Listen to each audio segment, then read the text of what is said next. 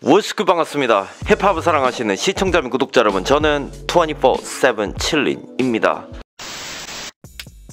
What's good? I'm 24/7 chilling. Now I'm making a reaction videos for overseas hip hop, R&B, and all the black music. And I also making a street fashion live video.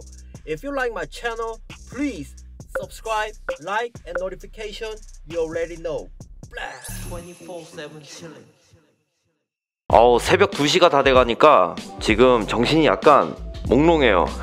사실 잠자리에 들어야 되는데 영상을 안 찍었기 때문에 이렇게 영상을 이제 찍으려고 촬영을 시작을 하고 있고요. 월요일 새벽입니다. 예, 일요일도 정신없이 지나갔어요. 지난주죠. 지난주가 되게 저한테 엄청나게 바빴는데 그래도 촬영은 멈출 수가 없기 때문에 또 이렇게 진행을 하는 거고 굉장히 구미가 당기는 곡을 이 새벽 시간에 듣게 되었습니다. 참 이 래퍼도 자기만의 개성이 강하고 음악적인 고집이 굉장히 셉니다. 어떻게 보면 보수적이라고 할 수도 있고 어떻게 보면 자기 것을 지키는 래퍼라고도 할 수 있고 참 사람들의 보는 시각이 다르겠지만 동전의 양면 같은 거고 굉장히 많은 respect을 받고 있는 태국 래퍼입니다. 바로 P9D의 오랜만에 리액션 비디오를 찍어보려고 해요. 녹화 시간 기준으로 한 3시간 전에 곡이 하나 올라왔어요.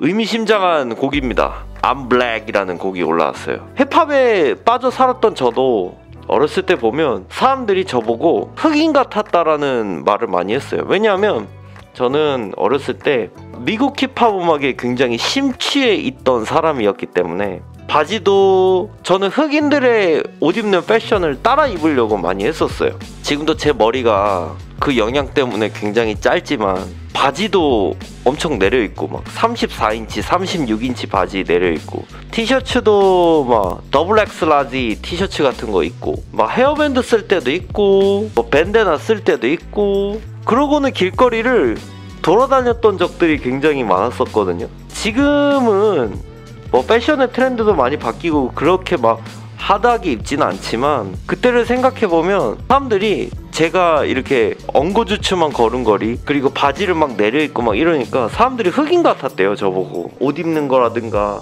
뭔가 색 그, 그때 당시 저의 뭐 어떤 정신세계라든가 이런 게 너무 힙합에 심취해 있었기 때문에 그랬다고 저는 생각을 합니다. 그렇기 때문에 암블랙에 누가 댓글로 가사를 올려준 걸 보고 해석을 했는데 굉장히 뭐 사회적인 메시지도 있지만 전반적으로 P90D가 얘기하고 싶은 저는 메시지는 해석을 해보니까 그런 것 같았어요. 내가 힙합이다. 어, 내가 내가 힙합이다. 약간 이런 거를 얘기하는 것 같았어요. 사실 흑인들의 음악이 힙합이긴 하지만 어떻게 보면은 P90D가 선보였던 음악들이 굉장히 좀 보수적이고 오지스러운 것을 많이 따라가려는 움직임들이 좀 있었잖아요. 그래서 그런지 자기 자신은 어떤 흑인 래퍼의 어떤 마인드셋으로 생각할 수도 있을 것 같고 그리고 내 자신이 힙합이라고 생각하는 어떤 자부심 같은 게 있을 것 같기도 해요. 그리고 이 곡은 완전 100% 붐랩입니다. 제가 몇 번 말씀드렸는데 태국 힙합에서 붐랩 음악을 듣는다는 건 굉장히 쉽지 않은 일입니다. 그만큼 붐랩을 건드리는 래퍼들이 많이 없다는 거예요. 그래서 지금부터 P90D의 I'm Black이라는 곡을 들어보면서 얘기를 해볼 수 있도록 하겠습니다. 야, okay, let's get into it.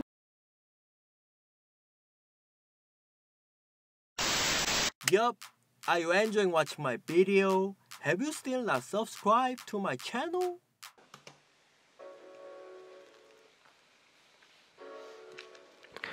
예전 제가 리액션 비디오 했을 때는 막 P9D가 막 G-funk 같은 음악도 만들고 이랬는데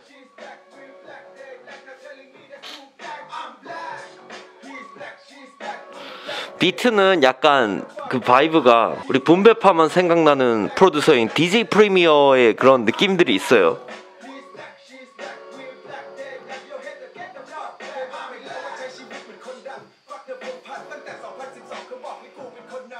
flow 자체도 그 boom bap에 특화된 old school flow죠.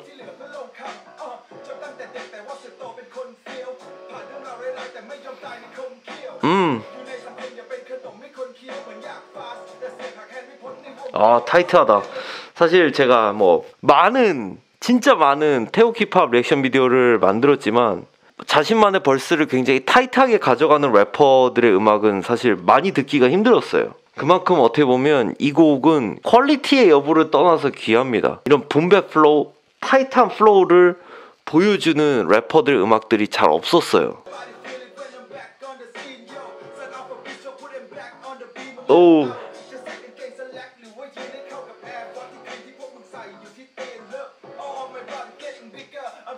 그 태국어 특유의 억양이 있는 발음 체계로 이렇게 boom bap 랩이 이렇게 또 들려지니까 되게 신기해요.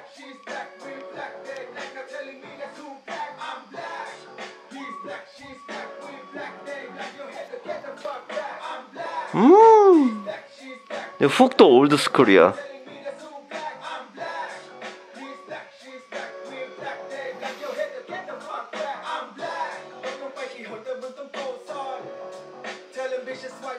오.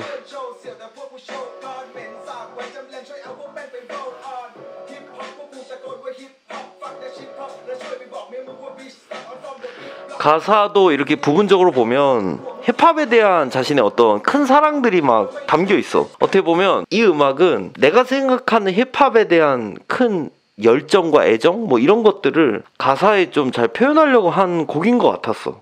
P90가.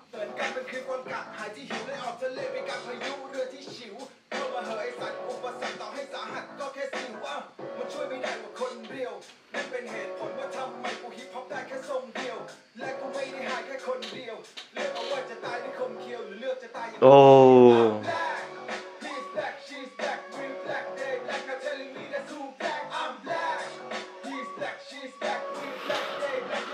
하드하고 타이트하고 좋네요. 그것도 태국어 랩의 분별 랩입니다.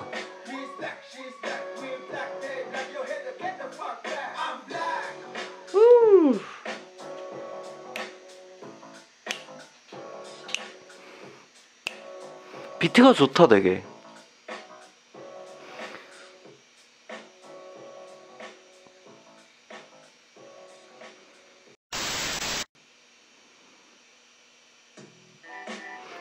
오, 다른 비트가 이어지네요?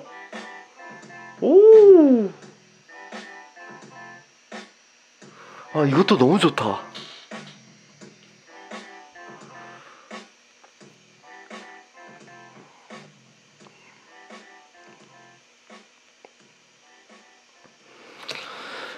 여러분들은 이런 boom bap 랩 들으면 어떤 생각이 드십니까? 힙합은 요즘의 양상을 보면 제가 봤을 때 전 세계적으로 세대 갈등이 있고 세대가 분리된 느낌을 저는 좀 봤습니다.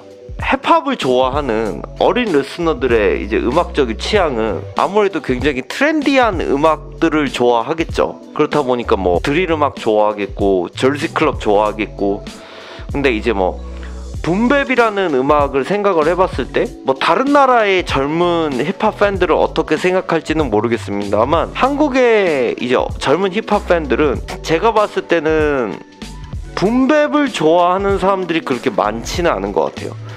이제 그 이유는 boom bap이 너무 어렵게 생각을 하고 있고 그리고 boom bap 음악을 듣고 좋아하는 사람들은 굉장히 너무 올드하다, 너무 낡았다라고 생각하는 그런 인식들도 어느 정도 팽배해 있습니다. 한국 힙합 커뮤니티 사회에서는. 근데 미국도 보면은 비슷한 흐름들이 은근히 있더라고요. 저는 이 채널을 운영할 때 붐베에 대해서도 애정을 갖고 있다고 많이 말씀을 드렸고 요즘 젊은 래퍼들이 표현하는 트렌디한 음악 장르들도 굉장히 좋다고 말씀을 드려서 전 두 가지의 영역들을 다 듣고 있는데 커뮤니티에서 봤을 때 이렇게 막 서로가 서로의 음악들을 공유 안 하려고 하고 뭔가 좀 반목하는 분위기들이 저는 좀 아쉬웠어요. 근데 P90D 같은 경우는 오히려 2023년인데도 불구하고 아직도 오스쿨적인 바이브들을 굉장히 많이 고수를 하고 있습니다. 그게 어떻게 보면 이 사람의 정체성일 거라고 생각을 하는데 저는 시대와 다른 음악을 만드는 래퍼들도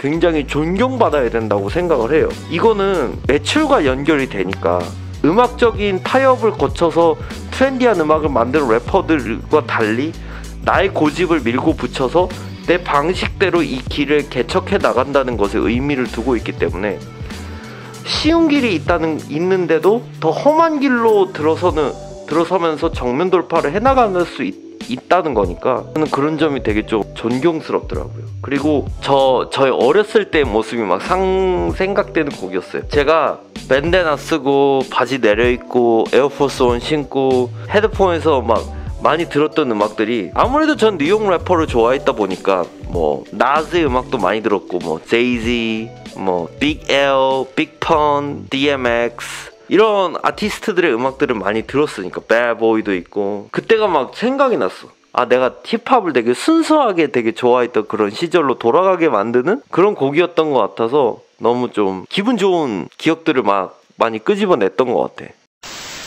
자 여러분들의 의견 어떠신지 모르겠습니다. 의견이 있으신 분들은 댓글로 많이 남겨주시고 저희 24-7 칠린 채널이 마음에 드시면 구독, 좋아요, 알람 설정 해주세요.